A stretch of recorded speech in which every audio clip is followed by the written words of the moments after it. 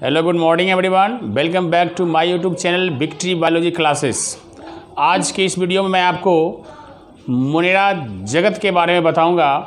इसके पहले के वीडियो में आपने देखा था कि आर एच विटिकर ने फाइव किंगडम क्लासिफिकेशन को दिया और पूरे दुनिया के ऑर्गेनिज्म को पाँच भागों में या पाँच जगत में बांट दिया, जिसमें मैंने आपको बताया था मोनेरा, पोटिस्टा, फंजाई, एनमिलिया और एक फलांटी। तो सभी को वन बाय वन करके हम देखेंगे। और पाँच किंगडम बात में बांटने के बाद भी बहुत सारे ऑर्गेनिज्म जो हैं, वो रह गए हैं, जिसको मैंने भी उसको अलग लिस्ट बना दिया, जिसमें सुख जीव हैं, वायरस है प्रियोन्स है वायरस है, लाइकेंस है। इसमें आर एच विटिकर ने उसकी चर्चा नहीं की, उस, इसका एक अलग ग्रुप बन गया सुख जीव का। लेकिन वैसे बैक्टीरिया भी सुख जीव है, लेकिन बैक्टीरिया को उन्होंने मोनेडा जगत में डाला। तो आज हम देखते हैं मोनेरा जगत को, हम पढ़ते हैं। तो देखिए, शुरू करते हैं मोनेरा। मोनेरा जो है, ये ग्रीक शब्द जो है मोनास, ये मोनास से बन क्या बना है? ग्रीक शब्द ये है मोनास इसका होता है? एलॉन मीन्स अकेला। ठीक है? ये अकेले भी रहता है, ग्रुप में रहता है। सिर्फ़ यहाँ मोनास शब्द से मिला है, मकैला। अब यहाँ बात कर रहे हैं मोनेरा जगत की। तो किंगडम मोनेरा क्या है? जितने भी सूक्ष्म जीवियों का ये समूह कहलाता है। और ये प्रोक्रेटिक होता है यूनिसेलर होता है, ये एक कोशिकीय है और प्रोक्रेटिक सेल है। अब प्रोक्रेटिक सेल क्या होता है, पहले अब इसको आप लोगों को समझना पड़ेगा। देखिए तो प्रोक्रेटिक और यूक्रेटिक, ये दो प्रकार के सेल्स होते हैं केंद्रक की उपस्थिति के आधार पर, है ना? अनुपस्थिति और अबसेंट और प्रेजेंट के आधार पर जो है, किसी भी सेल्स को हम दो भागों में बांटते हैं। एक होता है प्रोक्रेटिक सेल उसके दूसरा होता है यूक्रेटिक सेल। प्रोक्रेटिक मैंने पहले वाला सेल जो सबसे पुराना सेल कहलाता था प्रोक्रेटिक है, उसमें वो एक कोशिकीय जीव होता है उसमें। एक सेल्स के बने होते हैं। तो मोनेरा जगत जो हमारा है, वो यूनिसेलर सेल्स के अंतर्गत जीव, जो भी जीव इसमें आएँगे, है ना, उसको हम यूनिसेलर कहेंगे और साथ में ये प्रोक्रेटिक होता है मीन्स पुराना। प्रोक्रेटिक माना पहले वाला, पुराना वाला, जिसमें बहुत सारी चीज़ें नहीं अवेलेबल है। जैसे जैसे दुनिया ने तरक्की किया साइंस ने डेवलपमेंट किया, जीवों का धीरे धीरे विस्तार होने लगा और जैसे जैसे हम आगे किंगडम को आगे बढ़ते जाएँगे मोनेडा फिर पोटिस्टा, फिर फंजाई, फिर प्लांटी, फिर एनिमलिया तो आपको बृहद पैमाने एक जटिलताएँ सब जीवों में मिलते जाएगी। तो आज स्टार्ट हम मोनेडा करें तो मोनेडा मीन्स क्या होता है? सबसे पहले ये मोनास मीन्स अकेला होता है और इसकी जो है सबसे पहले ये बताएँ ये जो होता है, एक कोशिकीय होता है। कुछ कुछ, मैं जनरली मैं लक्षण बता दूँ आपको कि मोनेरा का एक कोशिकीय होता है, जिसको यूनी सेलर बोलेंगे यूनी सेलुलर बोलेंगे, है ना? यूनी सेलुलर बोलेंगे, एक कोशिकीय होता है। दूसरा ये होता है कि प्रोकैरियोटिक है ना? जिसको बोलते हैं हिंदी में अकेंद्र की केंद्र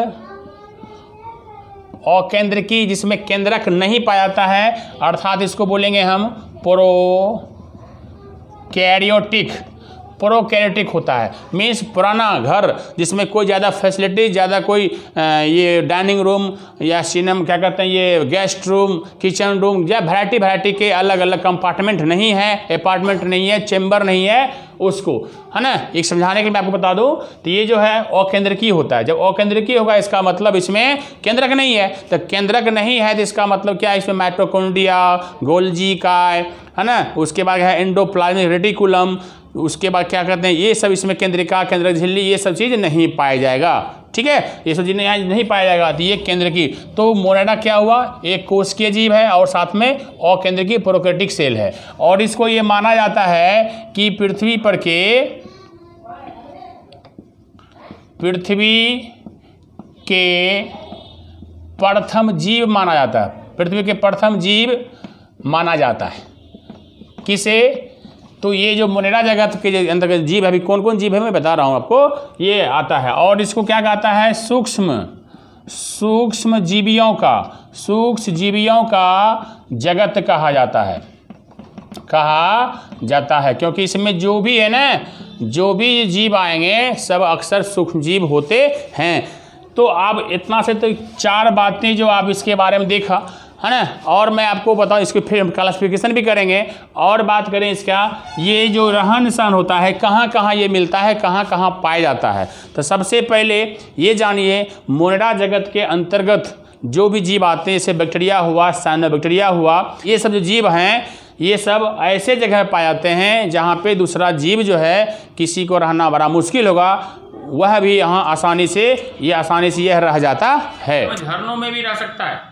ठंडे में भी रह सकता है। मैंने हर प्रकार के, क्योंकि इसके अंतर्गत बैक्टीरिया आता है सन बैक्टीरिया आता है। तो चलिए आगे क्या क्या इसके अंतर्गत आता है, हम मोनेडा का अब क्लासिफिकेशन करते हैं। तो नेक्स्ट आपको बता रहा हूँ, इसको आप लिख लीजिए स्क्रीन शॉट ले लीजिए। मैं आपको इसके आगे आपको बता रहा हूँ कि मोनेडा का क्लासिफिकेशन मोनेडा को भागों, कितने भागों में बांटा गया है और उसके अंतर्गत क्या क्या आता है। ठीक है? मोनेडा के क्लासिफिकेशन को, मोनेडा को कितने भागों में बांटा गया है? तो मोनेडा को देखिए मुख्य रूप से जो बांटा गया है यू बैक्टीरिया और आर्की बैक्टीरिया में। तो यू बैक्टीरिया के अंतर्गत क्या क्या आता है और आर्की बैक्टीरिया क्या है? ऐसा माना जाता है कि यू बैक्टीरिया का जो निर्माण हुआ है, ये मॉडर्न है, यू बैक्टीरिया का निर्माण जो है वो आर्के बैक्टीरिया से हुआ है। तो हम यहाँ पे लिख सकते हैं कि इसका निर्माण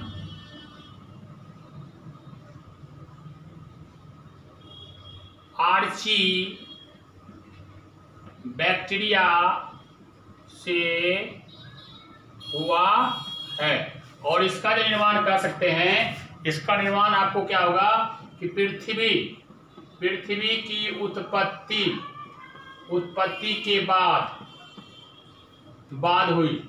पृथ्वी की उत्पत्ति हुई और उसके बाद तुरंत क्या हुई? आर्के विक्रिया हो गया। उसके बाद धीरे धीरे करके इससे ये निकल गया और ये काफ़ी पॉपुलर हो गया।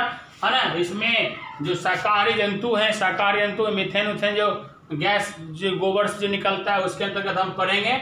बहुत ही ये स्पेशल है, इसके बारे में पढ़ेंगे हम लास्ट में, जब इसको हम यूको बैक्टीरिया को पढ़ लेंगे, तब हम बैक्टीरिया के बारे में भी पढ़ेंगे।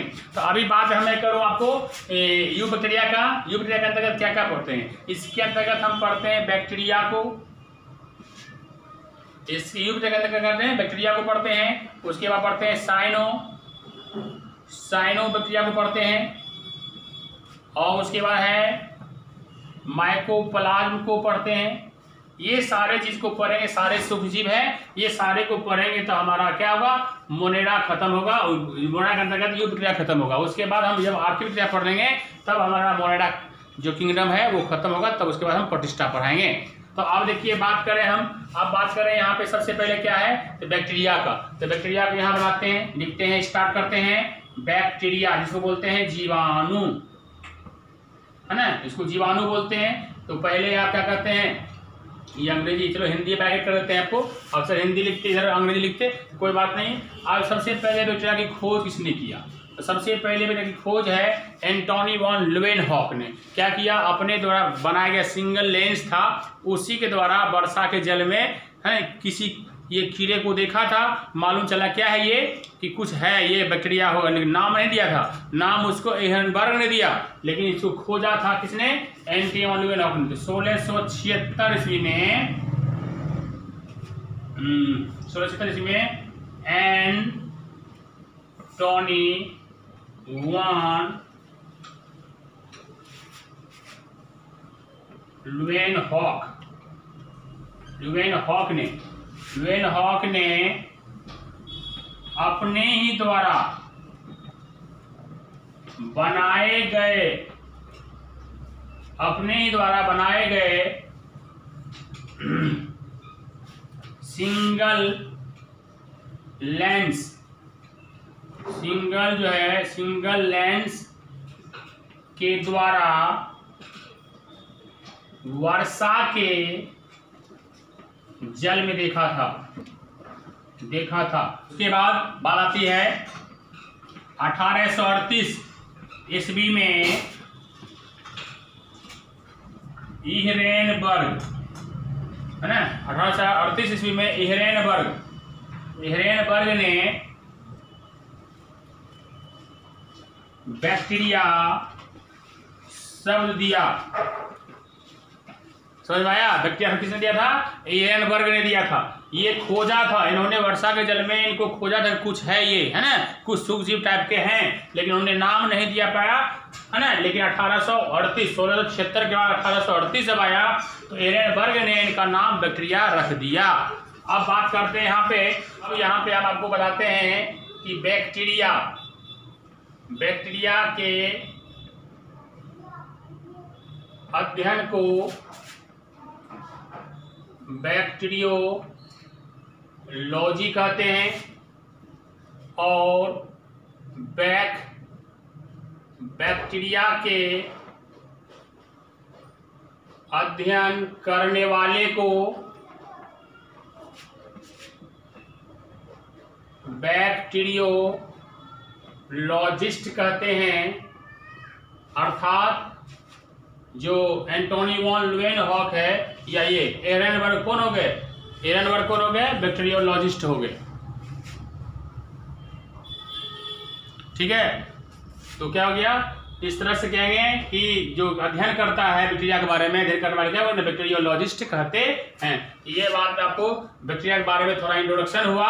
है ना आप इसकी बात कर रहे हैं कि साइज़ और आकार क्या क्या होता है, इसको देखें। तो सबसे पहले हम आकार की बात करें। तो आप देखते हैं हेडिंग करते हैं। बैक्टीरिया के आकार। तो बैक्टीरिया का आकार जो होता है 0.5 से, है ना? 0.5 से 5 माइक्रोमीटर तक होता है। इसका आकार है, ठीक है? इसके आकार को देख लिए। प्रकार देखने से पहले, विक्रिया के प्रकार देखने से पहले मैं आपको इसकी थोड़ी सी विशेषताएँ बताता हूँ। पर्सनल, मैं आपको विशेषता बताया था मोनेरा का, लेकिन मोना, मोनेरा के अंतर्गत ये पहला बैक्टीरिया आता है, यू बैक्टीरिया के अंतर्गत। मैं इसकी विशेषता बता दूँ, जो विशेषताएँ आपने मोनेरा में देखा था, वही सब ज़्यादातर, वही सब आएगी, क्योंकि उसी के अंतर्गत हम पढ़ने, पढ़ रहे हैं। तो मोनेरा क्या होता है, ये बैक्टीरिया विशेषता क्या है कि सबसे पहले ये क्या होता है यूनिसेलर होता है यूनिसेलर ने एक कोशिकीय ये कोशिकीय है ये, ठीक है? ये एक कोशिकीय है और साथ में ये कोशिकीय है। उसकी दूसरे, दूसरा बात यहाँ पे आप कर सकते हैं कि ये प्रोक्रोटिक है। प्रो कैरियोटिक है जिसको हम अकेंद्र की बोले थे। अकेंद्र की। अकेंद्र की है अर्थात क्या है? अर्थात इसमें हम एक पॉइंट ले सकते हैं कि इसमें ना माइटोकॉन्ड्रिया। है ना? इसमें ना ना माइटोकॉन्ड्रिया। ना आपको यहाँ पे है गोल्जी काय गोल्जी काय ना यहाँ पर आपको इंडोप्लाज्मिक रेटिकुलम है ना? इंडो, इंडोप्लाज्मिक, है ना? इंडोप्लाज्मिक, प्लाज्मिक रेटिकुलम है ना? ईटीसी e नहीं पाया जाता है ना? ईटीसी e क्या होगा? ना ना लिख दिए नहीं पाया जाता है। अर्थात ये वो केंद्र की है जो केंद्रक रहेगा तो सब प्रेजेंट होगा। केंद्रक नहीं है तो नहीं है। ठीक है? अब ये तीसरा इसमें क्या है पॉइंट ये जो है, ये जो है एलॉन एलॉन या क्या कहते हैं? ग्रुप में। मना अकेले अकेले या समूह में ये रह सकता है। अकेले या समूह में रह सकता है, ठीक है? और इसमें जो है, सेल वाल प्रजेंट, इसमें जो कोशिका भित्ति होती है ना, कोशिका भित्ति इसमें उपस्थित होती है। तो लिख सकते हो इसमें, सेल वाल कोशिका भित्ति हुआ, प्रेजेंट उपस्थित हुआ तो सेल वाल इसमें प्रेजेंट होता है, जो भी बैक्टीरिया होगा, उसमें सेल वाल इसमें होगा। और एक लास्ट पॉइंट इसमें बता दें मुख्य रूप से, कि इसमें जो है एक और पॉइंट बताते हैं कि इसमें जनन की जहाँ तक बात है, इसमें एसेक्सल रिप्रोडक्शन होता है। एसेक्सल रिपो रिप्रोडक्शन अब बाय फीजन से, है ना? फीजन जो होता है विखंडन क्रिया, उसके द्वारा ये होता है, फीजन के द्वारा जो होता है, उसके द्वारा ये सेक्सुअल रिप्रोडक्शन होता है, मैंने अलैंगिक जन जो होता है, इसमें अलैंगिक जनन किसके द्वारा होता है? फीजन के द्वारा। अब एक चीज़ और इसमें लिए, इसमें सत्तर एस राइबोसोम होता है, ठीक है? इसमें क्या होता है? यहाँ छठा पॉइंट यहाँ लेता हूँ, हो सकता है वहाँ दिखाई नहीं पड़ता आप लोगों को। इसमें जो है, छठा पॉइंट है, इसके नीचे, है ना? इसमें सत्तर एस राइबोसोम होता है।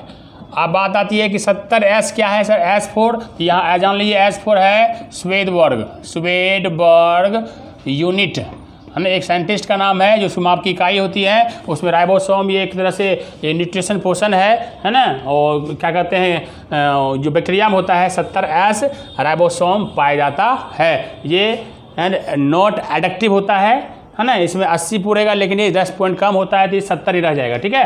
तो आपको याद रखिएगा एस फोर स्वेट वर्ग होता है यूनिट होता है, और बैक्टीरिया में सत्तर एस राइबोसोम कहलाता है पाया जाता है। तो इसमें ये अकेले रहेगा एलॉन रहेगा सेल वाल प्रेजेंट रहेगा, और डिवीज़न जनन जो होगा, और जनन होगा बैक्टीरिया में, किसके द्वारा? तो फिजन के द्वारा होगा। उसके बाद ये है क्या? केंद्र की है, इसलिए कि इसमें माइटोकॉन्ड्रिया गोल्जी का है। जितने भी कोशिकाएँ वो अक्सर उपस्थित अनुपस्थित होगा, और उसके बाद ये एक उसकी जीव है। ठीक है? अब बात करें हम आपको कि बैक्टीरिया के आकार आकार तो पढ़ लिए, क्या पढ़ लिए, कि क्या कहते हैं, प्रकार ही पढ़ना है साइज़ साइज़ पढ़ लिया आकार पढ़ लिए। अब हम पढ़ेंगे प्रकार, कि कितने कितने प्रकार बैक्टीरिया हैं, उसके कौन कौन से दिखते हैं, कैसे दिखते हैं, उसके सारे में बारे में डिटेल से पढ़ते हैं। इसको स्क्रीन ले लीजिए, फिर मैं आगे बताता हूँ।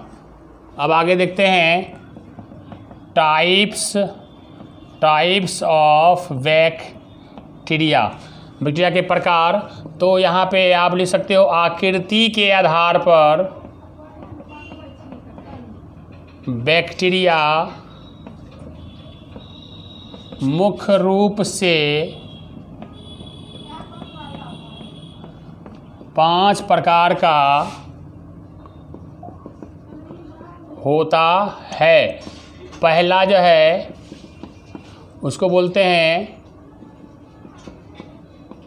कोकाई, है ना? जो कोकस भी कहीं कहीं पर आता है, ठीक है? कोकाई, ये क्या होता है? ये गोलाकार ये गोलाकार बैक्टीरिया होता है। अब कोकाई पहला है, कोकाई बैक्टीरिया, ये गोलाकार बैक्टीरिया होता है। अब इसके संख्या के आधार पर, अब इसको बोलते हैं संख्या के आधार पर। कोकाई को निम्न भागों में बांटा गया है। कहने मतलब है, ये तो कोकाई गोलाकार हुआ। गोलाकार में भी क्या होता है? संख्या इसमें कभी कम, है ना? कभी थोड़ा ज़्यादा होता है तो संख्या के आधार पर इसको हम कई भागों में बांटते हैं। तो सबसे पहला है मोनोकोकस। मोनोकोकस, ठीक है? तो मोनोकोकस क्या होता है? जिसमें सिर्फ़ एक जिसकी संख्या, जिसमें जिसमें सिर्फ़ एक संख्या हो। जैसे देखिए, ये वाला जो हो गया, है ना? ये बैक्टीरिया क्या हो गया? ये हो गया मोनोकोकस। गोल है और सिंगल है मोनोकोकस। उसके बाद यहाँ के हैं? डिप्लोकोकस।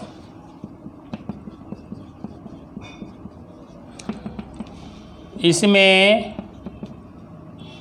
या इसकी संख्या दो होती है, ये भी ले सकते हो। इसकी संख्या दो होती है दो के समूह रहती है, ठीक है? ये दो के समूह रहती है, संख्या दो होती है या दो के समूह रहती है, जैसे यहाँ पे देखिए, है ना? अब सट के रहेगा एक यहाँ एक यहाँ। ये अलग अलग बना सकते हो इसको करके, है ना? ये अलग है अलग है, ये देखो सट के दो रहेगा, ठीक है? ये हुआ मोनोकोकस ये लिख सकते हो मोनोकोकस ठीक है? ऐसा नहीं सिंगल बना सकते हैं। सिंगल एक अलग एक अलग अलग। सिंगल सिंगल सिंगल सिंगल रहेगा। तो हो गया मोनोकोकस और इसके बाद जब ग्रुप में, दो के ग्रुप में रहेगा, दो की संख्या में रहेगा एक साथ तो उसको कहेंगे डिप्लोकोकस ये क्या हो गया आपका? ये हो गया आपको डिप्लो कोकस ये क्या हो गया? आप लिख सकते हो मोनोकोकस ठीक है? मोनो कोकस अब तीसरा बात आता है है ना? Tetra. Tetra tetracoccus tetra means चार होता है, ट्राई तीन होता है, लेकिन तीन की संख्या में अक्सर बैक्टीरिया आपको नहीं मिलेगा। तो टेट्रा कोकस है, इसमें चार की संख्या होती है। जैसे देखिए, यहाँ पर एक है, दो है, तीन है, चार है। एक है, दो है, तीन है, चार है। मीन्स ये चार की संख्या में आपको मिलेगा एक साथ, झुंड में। ठीक है? तो झुंड में मिलेगा तो क्या समझिएगा इसको कि ये कौन सा बैक्टीरिया है? तो आपको ये है टेट्रा टेट्राकुक्कस है। ठीक है? टेट्रा टेट्राकुक्कस है। मैंने चार चार जितना रहेगा, जितनी संख्या हो सकता है, अलग बात है, लेकिन एक साथ सटर के रहेगा, चार गो रहेगा। तो क्या बोलेंगे उसको हम? टेट्राकोक्कस। इसको स्क्रीन लीजिए, फिर आगे बताता हूँ। आती है चौथा नंबर कोकस जब बैक्टीरिया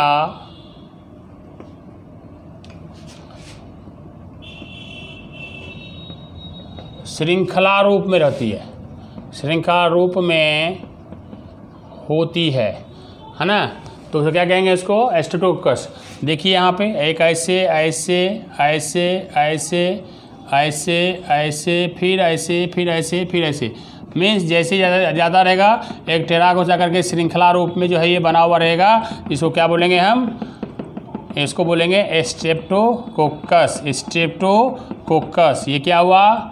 एस्ट्रेप्टो कोकस अब एक पचमा और लास्ट आता है है ना? एस्टेफाइलो एस्टेफाइलो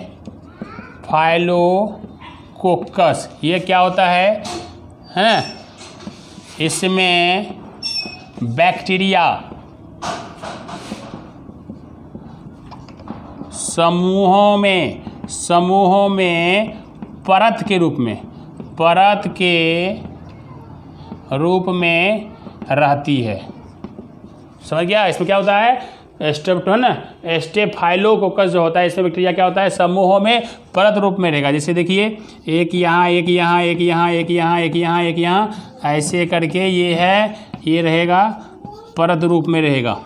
ठीक है? सब आपस में आपस में जुटा हुआ रहेगा, जुटा हुआ रहेगा। ये सब क्या है? ये सब आपको है ना? सब बिंडा बिंडा बिंडा सब में डाल दीजिए, है ना? जितने भी कोशिकांग इसमें जो हल्का फल्का जो पाए जाते हैं तो यूनिसेलर सेल है ये, है ना? लेकिन थोड़ा मोड़ा जो भी उसमें है, मिलेगा। इस रूप में आप दे सकते हो। क्या हो गया ये? ये हो गया आपको एस्टेफाइलो। एस्टेफाइलो कोकस ठीक है? ये हो गया आपका बैक्टीरिया का कोकाई प्रकार हो गया। कोकाई जो होता है ना, कोकाई जो गोल होता है, ये गोल में संख्या के आधार पर आपको पाँच भाग हुआ अब हम दूसरा पढ़ते हैं, बेसिलस को पढ़ेंगे, दंडाकार जो होता है, इसके फिर स्क्रीन लीजिए, फिर बताता हूँ आगे। तो देखिए, आगे जो बचा हुआ है, बैक्टीरिया का प्रकार, मैं बता रहा हूँ आपको कि दूसरा है, एक तो कोकाई आपने देख लिया, जो गोलाकार होता है, और उसमें संख्या के आधार पर पाँच भागा हुआ। अब यह दूसरा है बेसिलस। बेसिलस प्रकार का बैक्टीरिया क्या होता है? ये दंडाकार होता है, ठीक है? रोड सेप्ड हो। रोड सेप्ड बैक्टीरिया इसको कहते हैं डंडाकार। डंडाकार जीवाणु, ये होता है, जो डंडाकार होता है। जैसे कहिए देखिए फिगर में आप देख सकते हैं इसको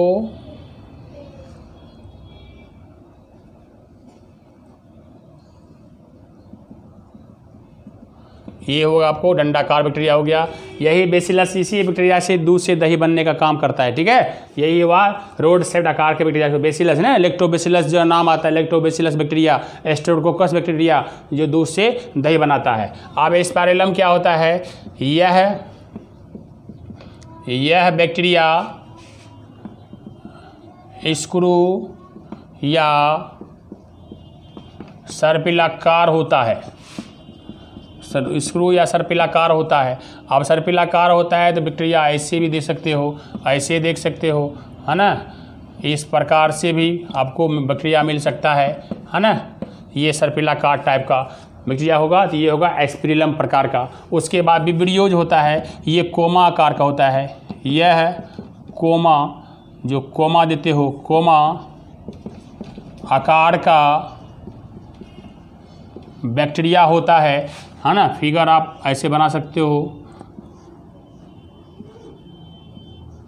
इस कोमा का बैक्टीरिया हो गया, जिसको बिब्रियो बोलते हैं। और ये माइसिलियम जो होता है, यह बैक्टीरिया जो होता है, यह बैक्टीरिया सूत्राकार होता है है ना? सूत्राकार एक जाल नुमा संरचना होती है। सूत्राकार या जाल नुमा जाल नुमा तो यहाँ पे जैसे है, देख लीजिए। रहता है मकड़ा का जाल ऐसा जो बना हुआ ना, इस तरह से बैक्टीरिया रहता है है ना? ये हुआ आपको सूत्राकार बैक्टीरिया, ठीक है? तो इसको भूल सकते हैं माइसिलियल माइसिलियल इसको हम कह सकते हैं, ठीक है? ये आपका बैक्टीरिया का प्रकार हो गया। ये माइसिलियम बिब्रियो एस्पेरिलम और बेसिलस और कोकाई। तो आज आपने मोयरा जगत को स्टार्ट किया। और मोनेरा के अंतर्गत उसका क्लासिफिकेशन पढ़े, उसका हम करेक्टर पढ़े, उसका लक्षण जो भी है, वो देखे।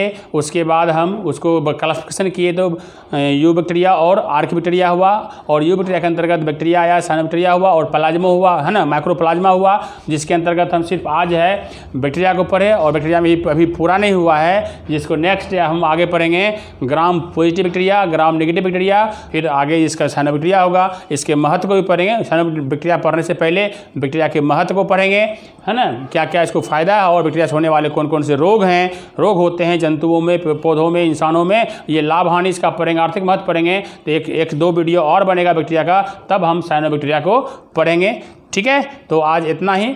आप, जो बच्चे इसमें, जिसका बच्चा छूटा हुआ है, मैं तो ऑनलाइन क्लास नौ से दस क्लास चलता ही चलता है लाइव क्लास चलता है और यूनिट थ्री चल रहा है, उसमें प्लांट किंगडम चल रहा है। तो जो बच्चे का जिसका छूटा हुआ है, वो कृपया मेरे यूट्यूब चैनल जो है विक्ट्री बायोलॉजी क्लासेस से है। आप उसमें देख सकते हो और करंट जो क्लास चलता है, वो नौ से दस चलता है। आप उसमें आप शामिल हो सकते हो आगे। ठीक है? और कंसल्ट नंबर जो हमारा है, वो यूट्यूब के माध्यम से जो वीडियो देख रहे हैं आप, इसमें आपको स्क्रीन पर आपको मिल जाएगा और आप उसे कंसल्ट कर सकते हो। और ये डेमो क्लास के लिए जो पीछे किसका एक अध्याय, दो अध्याय छुटा हुआ है, वह बच्चा हमारे यूट्यूब चैनल पर आके माध्यम से आप हमको देख सकते हो और पढ़ सकते हो, सीख सकते हो, किसी प्रकार की कोई परेशानी हो तो आप हमें पर्सनल नंबर व्हाट्सएप पे आप मैसेज कर सकते हो और सवाल जवाब पूछ सकते हो। ठीक है? ओके? आज भर, आज के लिए इतना ही। नेक्स्ट वीडियो मिलते हैं। तब तक के लिए गुड बाय।